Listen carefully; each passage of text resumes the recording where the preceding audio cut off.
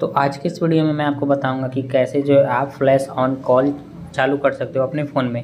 उससे होता क्या है, जब भी किसी का फ़ोन आता है तो आपके फ़ोन का फ्लैश जो है ऑटोमेटिक जलने लगता है। तो वो फ्यूचर सबको नहीं मालूम है, वो सेटिंग से ऑन करना पड़ता है कॉल की सेटिंग से।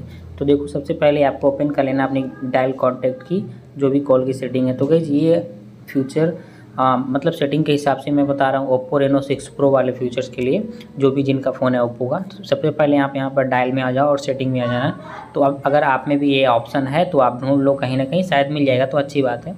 तो यहाँ पर आने के बाद आपको एक ऑप्शन मिलेगा कॉलिंग अकाउंट का जैसे कि यहाँ पर दिख रहा है। तो सिंपली आपको इस पर क्लिक करने का इस क्लिक करने के बाद आपको एक ऑप्शन मिलेगा जैसे कि मोर इन्फॉर्मेशन तो मोर इन मोर सेटिंग पे जैसे ही आप जाओगे तो इस पर जैसे आप क्लिक करोगे मोड सेटिंग पे तो यहाँ पर डायरेक्ट वो ऑप्शन आ जा रहेगा इस आपको करना कुछ नहीं है, बस यहाँ पर इसको ऑन कर देना है। ऑन जैसे ही कर देते हो तो जिस किसी का भी फ़ोन आएगा एनी टाइम कंपनी या फिर किसी का भी तो आपका फ्लैश चलना चालू हो जाएगा। मतलब ब्लिंक करेगा, आपका फ़ोन लॉक है या फिर अनलॉक है, तब भी वो ऐसा करेगा।